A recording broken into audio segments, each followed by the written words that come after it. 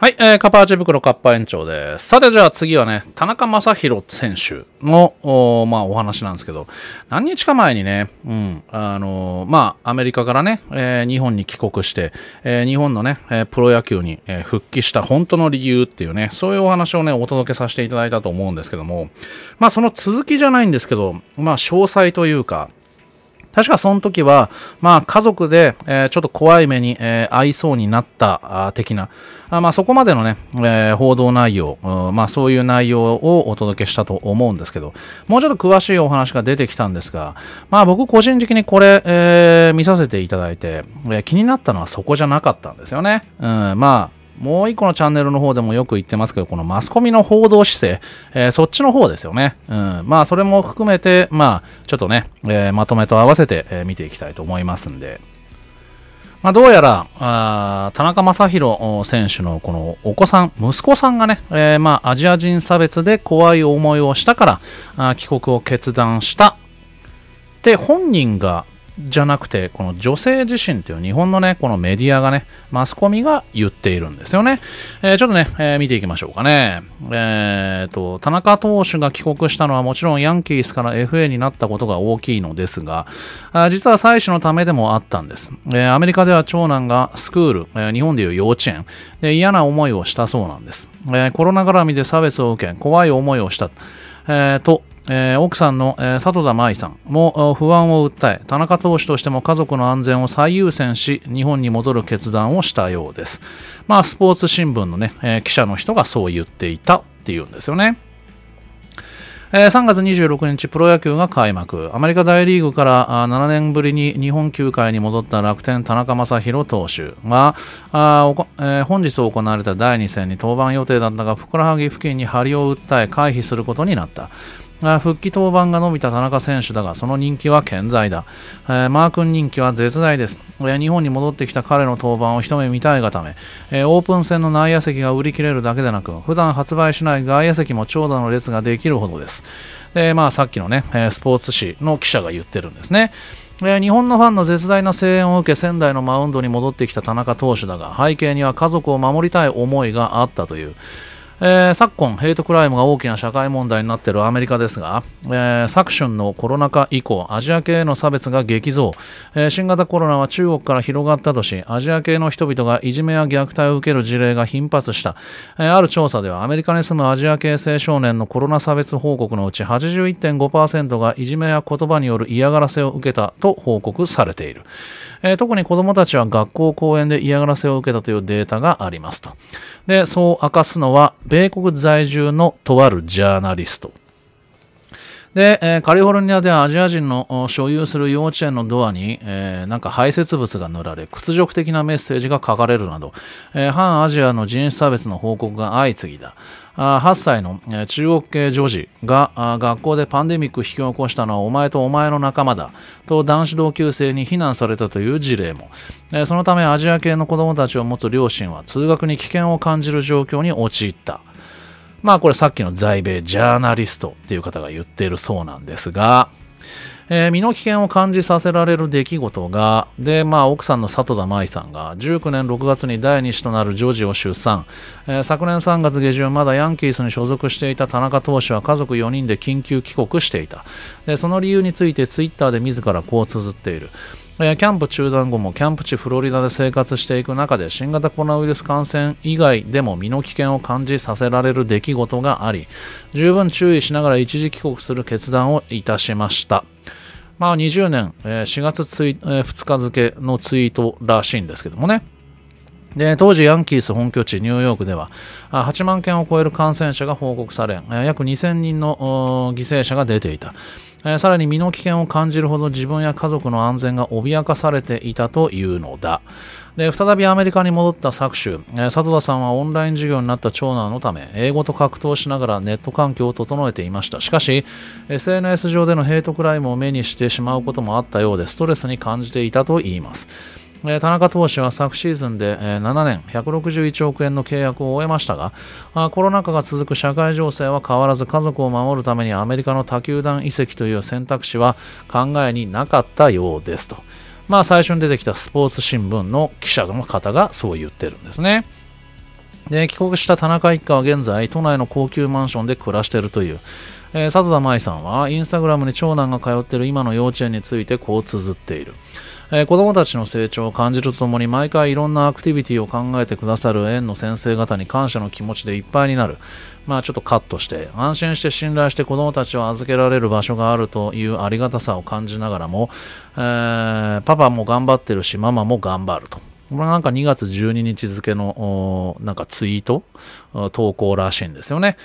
で、えー、家族の事情に加え田中選手には楽天のホームである被災地仙台への思いも、思い入れもあった。あ現在発売中のスポーツ紙ナンバーで田中選手は楽天への復帰について素直に語っている。えー、今回 FA になり、えー、初めて自分でチームを選択できる権利を持ちました、えそのタイミングがたまたま東日本大震災から10年目かということを考えた瞬間はありました。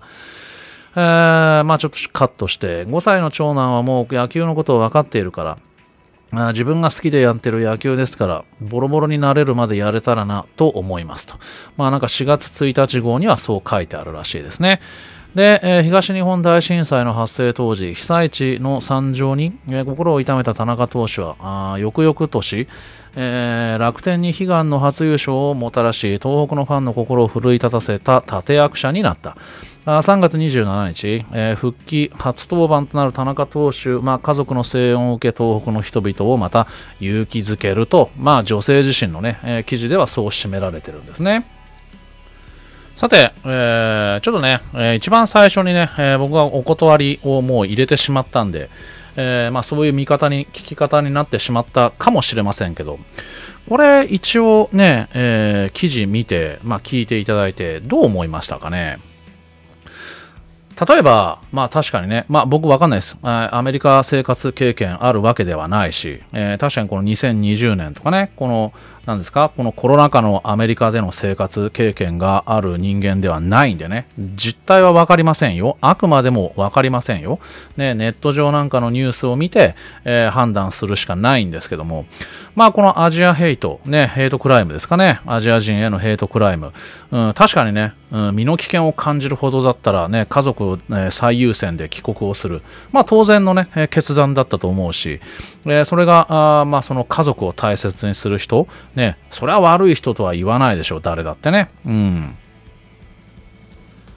だから日本でね、えーえ、田中投手、田中選手自身は日本のね、この楽天で活躍して成績どんどん積んでいってほしいと思うし、えー、ご家族のね、え奥さんとお子さんたち、え日本で安心してね、え暮らしていただけたらな、と普通に思いますよ。うん。だから何かが起こる前に、えー、まあ、なんだ、リスク回避っていうんですかね、えー、危険を察知して退避して、えー、身の安全を、家族の安全を守ること。ね、えやっぱり一家の大黒柱じゃないですか。ね、え楽天の大黒柱であるかもしれないですけど、ね、うん、田中家ではね、大黒柱ですからね、家族を守る、ね、えー、そういう生活、安心して生活できる環境をね、えー、整える、えー、それを優先した、あまあ、田中選手、まあ、立派だと思うんですけども、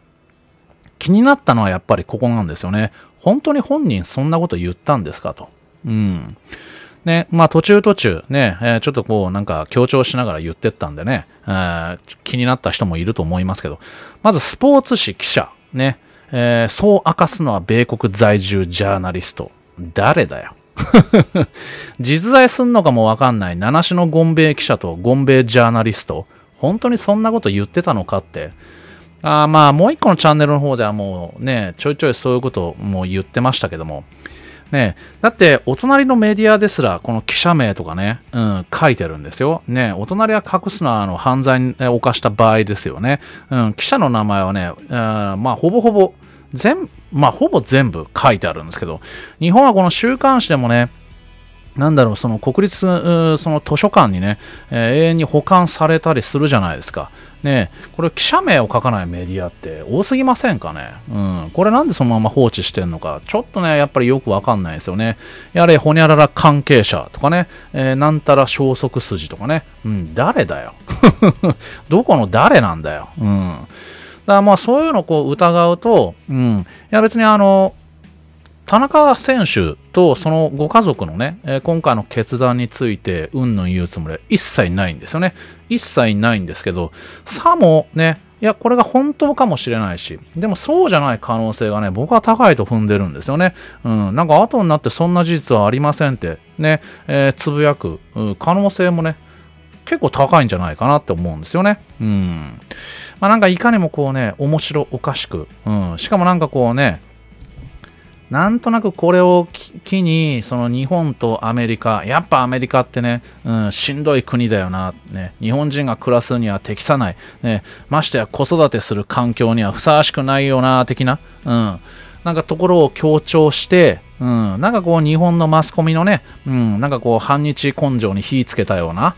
うん、そういう書かれ方じゃなかったかなって、うん。だからほら、あ今日なんかもそうですよね。あの日本と台湾のね、えー、日体離間をこう図ろうとしたね、うん、五毛君たちの話をね、もう一個のチャンネルの方でもしましたよね。あの鉄道事故の件で。あれとなんかこう調子がね、よく似てるんですよね。うん。わかんないですよ。実際にね、そういうアジア系のこのヘイトクライムがあるにはありますから。えー、いろいろこう考えて、えー、決断したのはありますけど、ね。うん。なんかね、やっぱり日本のマスコミが書く記事って基本的にうさんくさいですよね。うん。スポーツ紙記者。えー、米国在住ジャーナリスト。うさんくさいですよね。うん。実際本当にそんな事実はありませんってね、えー、出てきちゃうんじゃないかなって僕は個人的に思ってますけど、どうなるんでしょうね。まあとにかくなんか、ね、田中投手、なんか張りを訴えたって、ちょっと心配ですよね。うん。まあきっちり調整して、ぜひ頑張ってね、えー、活躍して、またなんかこうね、前人未到の記録でも打ち立ててくれたらね、大いにね、えー、特に東北の人たちなんかはね、うん、あの盛り上がるんじゃないでしょうかね。頑張っていただきたいです。ということで今回は以上です。ありがとうございました。ではまたごきげんよう。